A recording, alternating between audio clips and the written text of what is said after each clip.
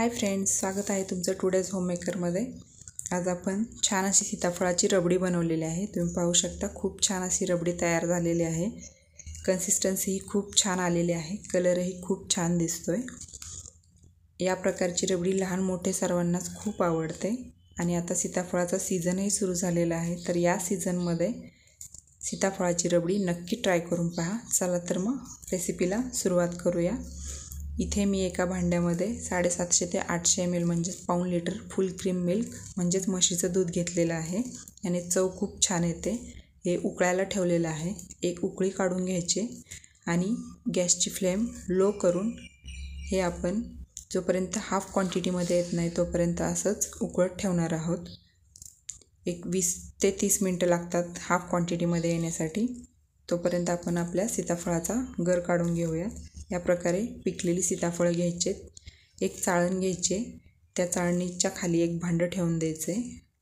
आणि हा गर आहे तो चाळणीमध्ये काढून घ्यायचा आहे. रबडी बनवायची झाली सीताफळाची की त्याचा गर कसा काढायचा हे खूप टेन्शनचं काम असतं. या प्रकारे तुम्ही गर काढून घेऊ शकता. पटकन गर वेगळा होतो आणि बी वेगळं होतं. चमचेच्या सहाय्याने प्रेस करायचे.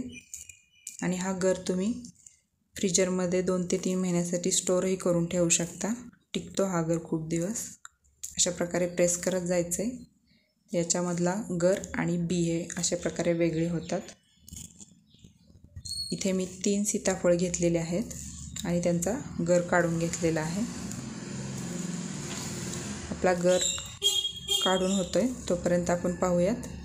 आपलं दूध हाफ क्वांटिटीमध्ये आलेलं आहे की नाही? आता हे दूध हाफ क्वांटिटीमध्ये आलेलं आहे. आपण याच्यामध्ये साखर घालून घेणार आहोत. इथे मी चार चमचे साखर घातलेले आहे. तुम्ही तुमच्या आवडीनुसार थोडंफार कमी जास्त करू शकता. पण सीताफळ हे ऑलरेडी खूप गोड असतं त्याच्यामुळे जास्त साखर नका घालू. ही हलवून घेऊयात साखर विरगळली की आपण याच्यामध्ये सीताफळाचा गर घालून घेणार आहोत.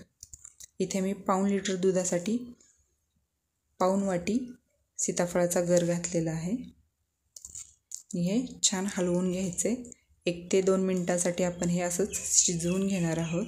जेणेकरून सीताफळाचा पूर्ण फ्लेवर हा दुधामध्ये उतरेल. एक ते दोन मिनटंच शिजवायचं आहे आणि त्याच्यानंतर पाहू शकता. याची कन्सिस्टन्सी पाहू शकता. जास्त दाटसर करून नाही घ्यायचे. आता आपण हे एका भांड्यामध्ये थंड होण्यासाठी ठेवून देणार आहोत. याची कन्सिस्टन्सी तुम्ही पाहू शकता. आत्ता जरी हे पातळ वाटत असेल तरी थंड झाल्यानंतर खूप छान कन्सिस्टन्सी येते. त्याच्यामुळे जास्त दाटसर आत्ताच करून घ्यायचं नाही आहे नॉर्मल टेम्परेचरला आल्यानंतर मी हे दोन तासासाठी फ्रीजमध्ये ठेवलं होतं. तुम्ही पाहू शकता छान अशी कन्सिस्टन्सी आलेली आहे. चवही खूप छान लागते. आता तुम्ही याच्यावरती तुमच्या आवडीनुसार ड्रायफ्रूट्स घालून घेऊ शकता. बघू शकता. खूप छान अशी रबडी तयार झालेली आहे. तर नक्की ट्राय करा. आणि रेसिपी कशी झाली हे कमेंटमध्ये सांगायला विसरू नका.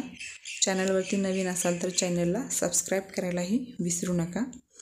आता पुन्हा भेटूया अशाच एका नवीन रेसिपीसोबत तोपर्यंत बाय